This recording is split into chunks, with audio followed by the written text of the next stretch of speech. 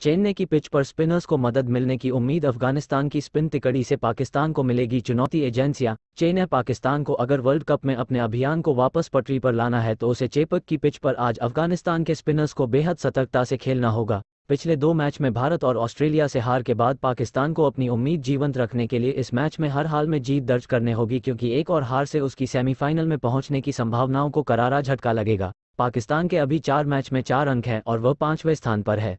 उसको अपने net run world cup का बाईसवां मैच रेट माइनस शून्य दशमलव चार पाँच छः में भी सुधार करने की ज़रूरत है। अंक तालिका में पाकिस्तान, अफ़गानिस्तान, अफगान स्पिन अटैक मज़बूत है पाकिस्तान के बल्लेबाज अभी तक स्पिन से के सामने अच्छा प्रदर्शन नहीं कर पाए हैं, जो उसके लिए चिंता का विषय है।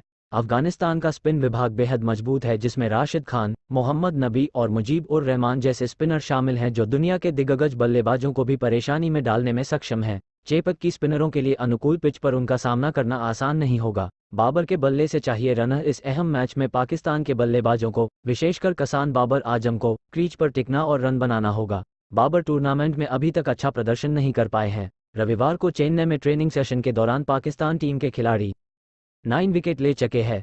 शाहीन शाह, अफरीदी और अभी तक इस टूर्नामेंट में पाकिस्तान के सबसे सफल बॉलर है। उनसठ रन पर अफगान टीम सिमट गई थी। इस साल हम्बनटोटा में, पाकिस्तान के खिलाफ वनडे में यह उसका न्यूनतम स्कोर है।